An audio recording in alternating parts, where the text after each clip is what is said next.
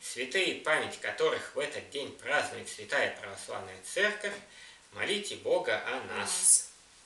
Сегодня мы поговорим про супружеское время. Или личное время пары. Да, что-то где-то я слышал этот термин. А это в Международном э, христианском семейном клубе. Да. И что интересно, это единственное место, где мы этот термин услышали. И нам про него очень хорошо рассказали, потому что мы бываем у разных э, психологов, и светских, и православных, да. у разных священников – но обычно никто не делает такой акцент на супружеском времени. А почему? Ну, я думаю, потому что на Западе люди осознали, там психология более развитая, и люди осознали, что отношения в паре – это очень важно. Потому что когда расстаются мужчина и женщина – то семья из ячейки общества распадается на, антисоци... на антиобщественные элементы.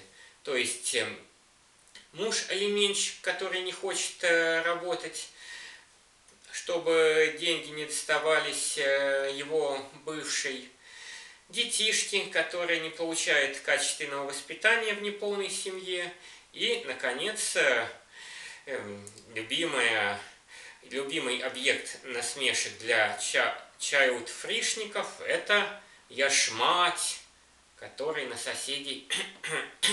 А, ну это... А почему так? Ну, потому что если отношения в семейной паре постоянно не прокачивать, то они исчезают. А очень часто получается, что когда в семье появляются дети, то, то муж и жена начинают меньше общаться.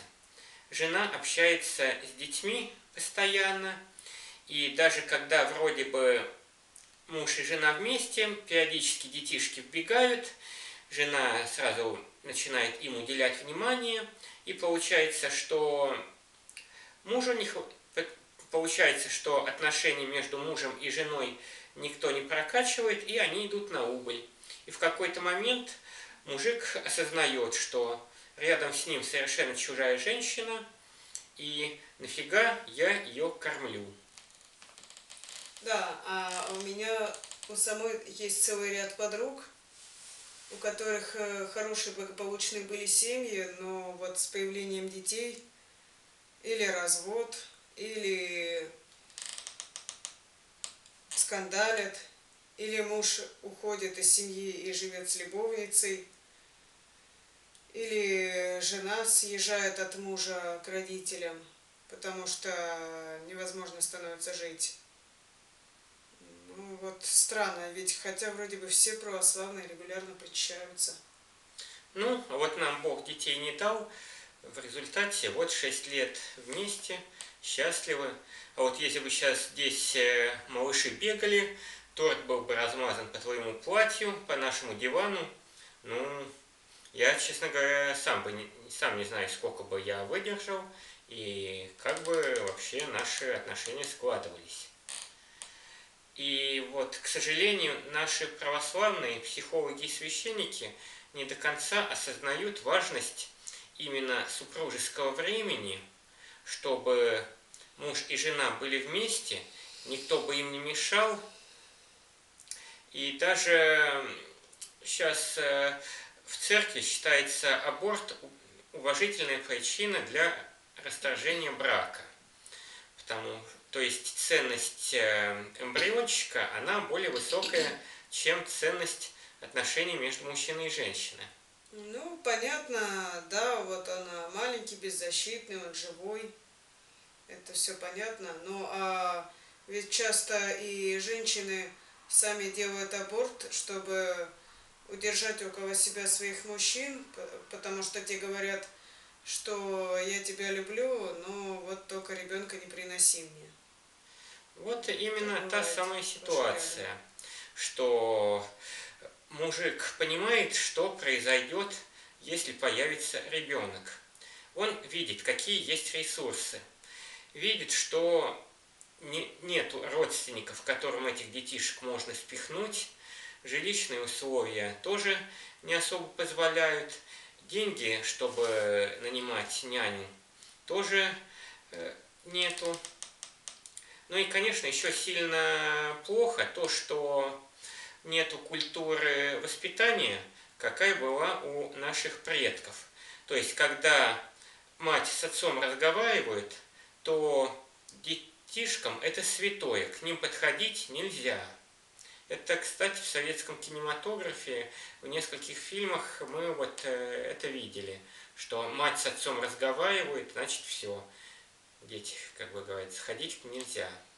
Ну и, соответственно, родственники тоже особо не фонят в жизни молодоженов, потому что если теща и свекровь постоянно лезет в отношения с парой, в отношения пары, то пара получается тоже уже не вдвоем, а с родственниками. Да.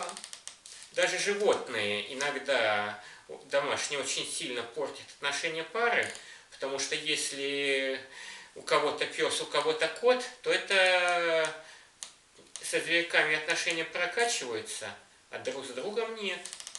Потому что эмоции направлены немножко в другую сторону, на своих питомцев, а не друг на друга. Угу. И, по, и поэтому даже это может разрушить отношения пары? Может ослабить связь пары. Если прочная пара, то не разрушит, а если не прочная, то это может быть последней каплей.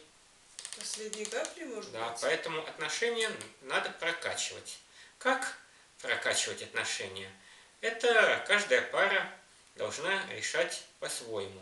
Мы сейчас сидим, пьем чай, едим тортик.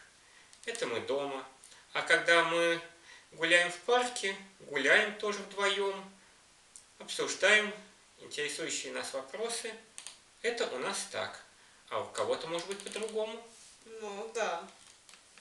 А как же нет супружеского времени, если вместе спят? Если христиане вместе в церковь идут, вместе молятся. Значит, отношения в паре – это когда ничего не отвлекает, когда только мужчина и женщина. Если вместе спят, они при этом не общаются. Если вместе в церкви, то в церкви тоже не общаются, в церкви стоят все и молятся Богу. Или просто стоят и молчат. А важно именно, чтобы было конструктивное общение пары между собой. При этом желательно, чтобы э, женщина была, например, красивой, чтобы на ней было красивое платье. Ну, это да. А на муже, чтобы не было потной грязной футболки и вонючих носков. Да, это тоже очень важно, чтобы э, муж и жена были в этот момент друг другу приятны. Да, точно. Вот примерно так. А как э, это будет проходить супружеское время? Это каждая пара, конечно, решает сама для себя. Кто-то, например, будет дома пить чаек, кто-то будет этот же чай пить в кафе. Кто-то будет э, гулять по парку, кто-то там будет общаться за рулем в автомобиле. Но важно, чтобы общение было. И было конструктивное. Да, точно. И если нет совсем времени и сил, то ради, общ... ради того, чтобы супружеское время было, надо отказываться, хоть и не хочется, но приходится, от чего-то менее ценного, чем ваша пара. Ну, а что же это может быть такое менее ценное? Ну, например, чистый унитаз, постиранные занавески, какой-нибудь там кот, канарейка и даже ребенок. Потому что через э, год-другой изменится материальное положение, и тогда можно будет детей завести. А если вы расстанетесь, то это будет финал.